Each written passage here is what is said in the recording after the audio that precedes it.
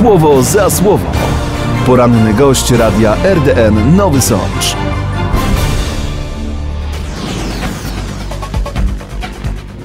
A w naszym studiu jest już Józef Tobiasz, wójt gminy Grudek nad Dunajcem. Dzień dobry, witam. Dzień dobry, witam serdecznie słuchaczy RDN-u, witam mieszkańców i sympatyków gminy Grudek nad Dunajcem.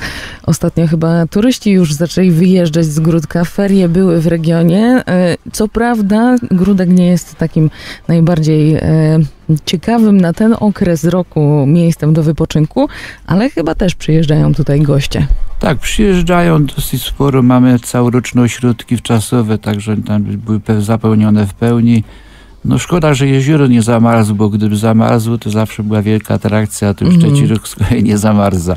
No właśnie, czyli takie, taki fenomen znowu przyrodniczy nam się zdarza, gdzie zimy nie są aż tak mocne. No tak to jest. No. Kiedyś pamiętam, to lód był grubości nawet pół metra, także można było młodzież i nawet ci przyjeżdżający mieli frajdę, bo mogli sobie na łyżwach pojeździć, mogli sobie pospacerować po jeziorze. No i przede wszystkim było to wtedy bezpieczne, bo warstwa lodu tak, no to, to już było sprawdzone, także nawet wędkarze wiercili wtedy, ja tam też chodziłem, wskazywali mi, jaka grubość jest lodu. Mm, no właśnie. No, dzisiaj na pewno odradzamy takich rzeczy, bo te zimy są zbyt lekkie. Absolutnie tak. No, w tym roku nie spotkałem wędkarza, który by chociaż częściowo jezioro przymarzało, jednakże nikt tam się nie odważył pójść. Mm, no właśnie.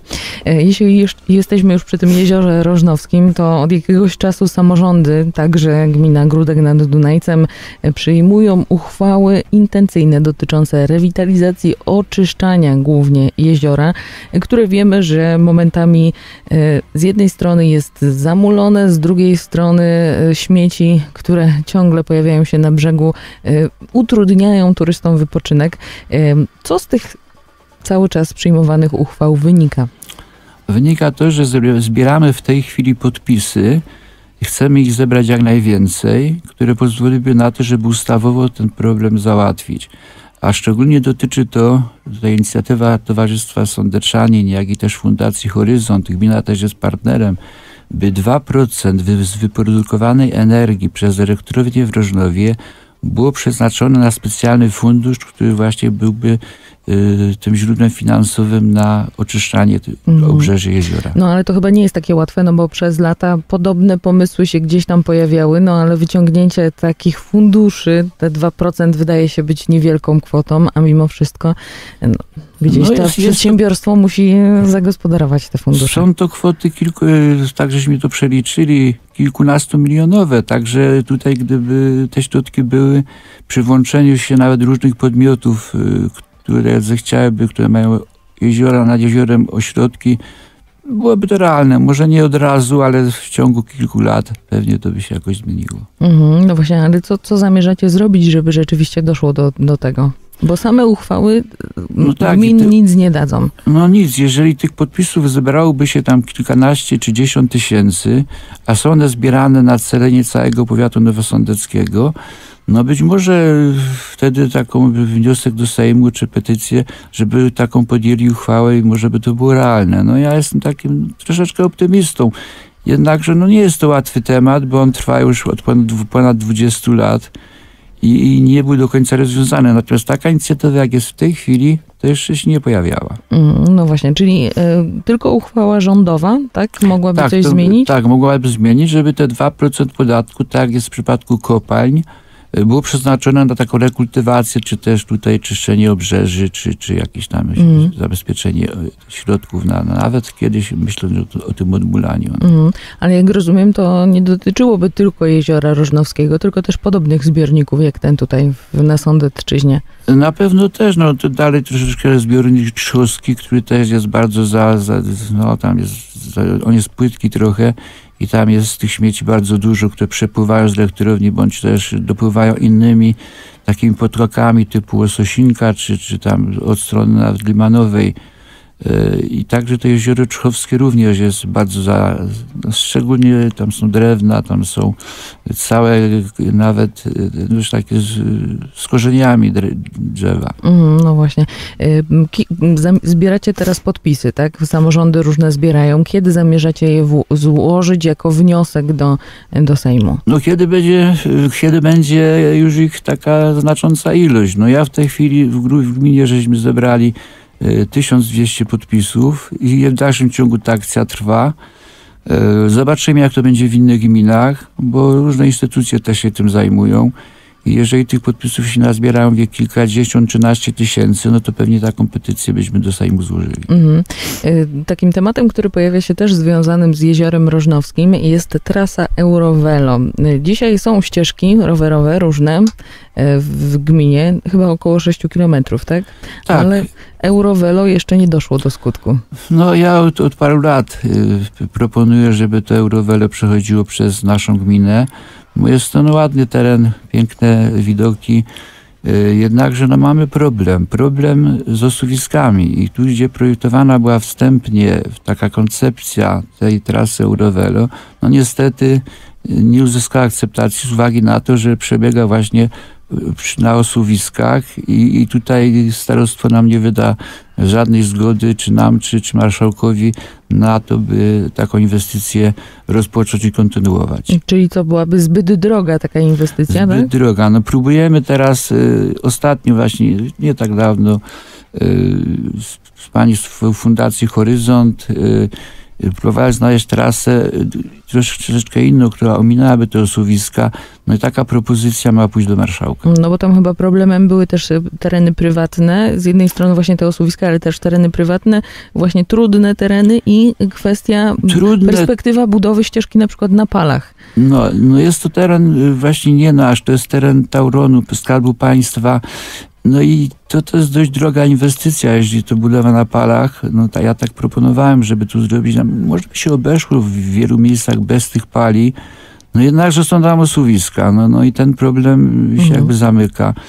Jeśli nie ta trasa, to jaka w takim razie? Nie wzdłuż no jeziora, tylko gdzie? Nie, troszeczkę wyżej, żeby te osuwiska ominąć, to jest przez Sienną, aż w kierunku Bartkowej Przydonicy.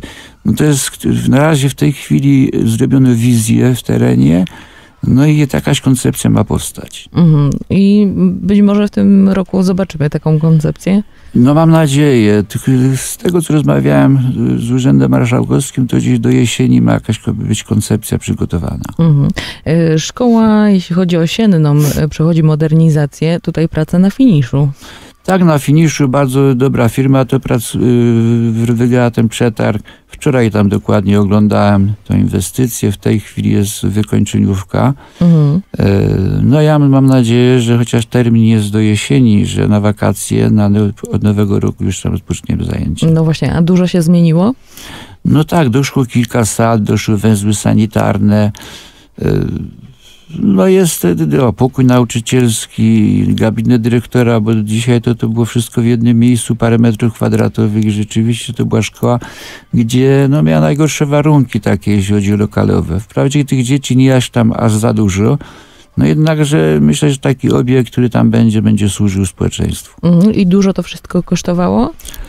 No dość sporo w tej chwili, nie wiem, ale gdzieś koło ponad milion. Mhm. W tym miesiącu uda się skończyć, czy to jeszcze kwestia nie, kolejnych? Nie, w tym miesiącu się nie da. Ja Aha, tak jak pan mówił, nie, czyli tak wakacje mówiłem, bardziej, tak? Do wakacji bardziej, bo to już te sprawy kończeniowe są dość uciążliwe. Mhm. Y, widziałam informację o tym, że wymieniacie kopciuchy, te piece, które mm, no, mogą troszkę wpływać na, na emisję w regionie. Y, kolejny nabór był ogłoszony ostatnio. Już zapełnione miejsca, czy jeszcze y, można się zgłaszać? Można się zgłaszać i zbieramy jeszcze jeszcze chętnych. Mhm. Dużo tych kotłów? Jakie są tutaj fundusze? Y, ja tutaj nie umiem odpowiedzieć, dlatego że to w zależności od tego, ile będziemy mieć chętnych prawdopodobnie, bo to dostaniemy pieniądze od marszałka na to. Mieliśmy już, ostatnio wymienialiśmy i na, te, na, na pelet, i na gazowe, to wtedy było jakieś 120 pieców. Wcześniej też takie akcje były. Także w dużej części u nas gmina jest, jest przede wszystkim zgazyfikowana i wiele nowych budynków, które powstaje, to wszystko to jest y, na ogrzewanie gazowe. Mhm, czyli jednak ten gaz ludzie wybierają, niekoniecznie biomasę. W większości gaz, tak. Mhm. Mniej na biomasę nawet cofali nam te swoje wnioski, dlatego że no z tą biomasą jest kłopot, no bo, bo, bo nie ma u nas takiej biogazowni, natomiast y, no takie piece, które na ten no, nie do końca one spełniały swoje wymogi. Mhm. Mieszkańcy mogą więc składać wnioski i liczyć na wymianę e, piecy, tak? Już Tak, mogą to liczyć, jeszcze- tam, no przyjmujemy zgłoszenia. Kiedy ruszy budowa przoku? Oj, z przokiem to mamy problem w tej chwili. No, sytuacja miała to miejsce, bo to już mi od 3-4 lat próbujemy to, to inwestycja być bardzo potrzebna jest. Natomiast no, w tej chwili zaczynamy projekt od nowa, z uwagi na to, że no, wykonawca, który wcześniej wygrał przetarg, troszeczkę przeliczył się z kosztami. I to było wcześniej, zmiana cen, zmiana stali, wycofał się, woli karę zapłacić niż kontynuować inwestycje. Mhm. Tak żeśmy umowę zerowali. Czyli wszystko gdzieś stanęło w martwym No, punkcie. stanęło w martwym punkcie i na tym ulewam. Mhm. Y, Ale rozumiem, że jakaś tam kara będzie płacona przez wykonawcę. Zobaczymy, y, sprawa jest w sądzie w tej chwili. Mhm. Ale liczycie pewnie na jakieś odszkodowanie. Znaczy, no, nie tyle, no, pewnie tak, no, no, ale zobaczymy, co sąd powie. Mhm. No, rozumiem. No tutaj ten termin, jak pan mówi, dużo przeciągnięty, o duży, ok- długi okres. No długi okres, my w budżecie zawsze zabezpieczamy środki ze strony gminy. No, będziemy się starać o fin- dofinansowanie bądź też kredyt z Wojewódzkiego Funduszu Ochrony Środowiska. Mhm. Jeżeli tylko zrobimy dokumentację, bo to jest podstawą. Mhm. Y, Czyli co, na nowo rozpisujecie już przetarg, czy musicie skończyć postępowanie, żeby... W tej chwili robimy zapytania cenowe. Bo myślę, że to nie będzie aż taki drogi projekt, który pozwoli nam na to, jeżeli zapytamy się z tam trzech firm, to pewnie będzie można wykonawcę wyłonić. Mhm. Y, Temat taki, który też interesuje mieszkańców, to oczywiście kanalizacja w Podolu Górowej między innymi ma być budowana. W zeszłym roku dostaliście dofinansowanie. Jaki to jest etap prac tam chyba i na kanalizację i częściowo na wodociąg? Tak, to jest na Podolę Górową, jak również na Przedonice. To jest, bo Bartkowa, w Bartkowie jest bardzo niedociążona i docelowo była planowana, jednakże z uwagi na brak środków ta inwestycja została tam ograniczona. W tej chwili dostaliśmy drugie rozdanie Polskiego Ładu i te środki przeznaczamy na właśnie na, na, na budowę kanalizacji i górowych wodociągów. Mhm. I y, tutaj przetargi już są? Są w tej chwili w trakcie przetargów. Y, Jeżeli nie będzie protestów, to rozstrzygnięcie będzie na dniach. Mhm. Ruszycie kiedy z pracami w takim razie? To w zależności od tego, jak się zakończy ten, ten, ten przetarg, który będzie, bo jeżeli firmy by, ktoś by się odwoływał do KIO, no to sprawa się nam przeciągnie. Mhm, mhm, no właśnie. E, To jeszcze na sam koniec kwestia dróg i chodników, bo to jest jeszcze rzecz, którą planujecie w najbliższym czasie. Wiosna idzie, w końcu ją zaczynamy czuć. Taka była decyzja radnych, jeżeli chodzi o Polski Ład, że na pierwszym miejscu postawiono budowę chodników. Jesteśmy w tej chwili, zrobiliśmy dokumentację na kilka takich, y, szczególnie przy drogach powiatowych i czeka, troszeczkę przy drodze wojewódzkiej, tam chcemy przejście w Podolu przy kościele dokonać i kawałek chodnika. E, I niestety te przetargi są bardzo, bardzo zawyżone. No i trzeba będzie pewne inwestycje ograniczyć. Y, Jeżeli się uda i też nie będzie jakichś odwołań, to myślę, że już w kwiecień prace ruszą. Mhm.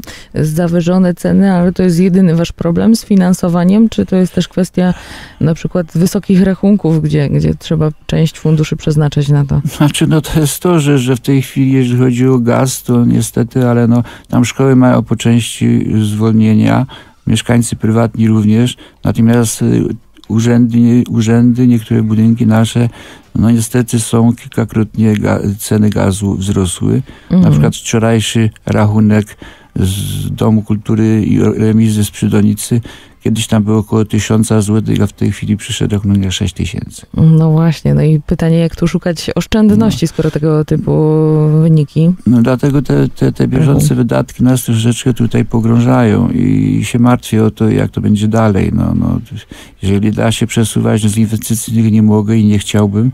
Natomiast no, będziemy szukać jakichś oszczędności i szukamy je, bo Mhm. musimy nawet we- ustawowo 10% oszczędności dokonać na oświetleniu. Y, Ograniczamy oświetlenie od godziny wpół do 12 i wszystkie lampy gasną. Y, No znaczy nie wszystkie, ale główne, takie nie bardzo, ten, bo przy, przy głównych, przy przejściach, przy skrzyżowaniach one muszą się świecić i do godziny wpół do 5 rano. Mhm, czyli tutaj jest jedna oszczędność. No ale Troszkę będzie tutaj. a, No a w budynkach jakichś publicznych ograniczacie te No wydatki? również, no, no ja wydałem takie rozporządzenie dla szkół, dla, dla GOK-u, dla remis, żeby tu starali się jednak oszczędzać, żeby troszkę obniżyć temperaturę grzania tych pomieszczeń. Może nie całkiem, tak, że można było użytkować, jednakże no nieraz to było przegrzewane rzeczywiście. Mhm, A coś trzeba będzie zamknąć? Na przykład gminy niektóre decydują się na zamknięcie obiektów typu basen, typu jakiś ośrodek e, kultury albo jakieś świetlice, które gdzieś tam przez ten czas zimowy e, nie funkcjonowały. No raczej no, basenów nie mamy, basenu nie mamy. No, to, to jasne. Natomiast ale- budynki, budynki typu Gokowskiego, te, te domy kultury, ograniczyliśmy grzanie, jednakże nie wyłączaliśmy, z uwagi na to, że tam się zajęcia odbywają. Mhm, Na pewno pewnie jeszcze do tego tematu e, prądu, energetyki ogólnie pojętej, czy gazu i rachunków za tę energię będziemy jeszcze wracać. Dziś moim gościem był Józef Tobiasz, wójt gminy Grudek nad Dunajcem. Dziękuję za Dziękuję spotkanie. bardzo, pozdrawiam Państwa. Słowo za słowo. Poranny gość radia RDN Nowy Sącz.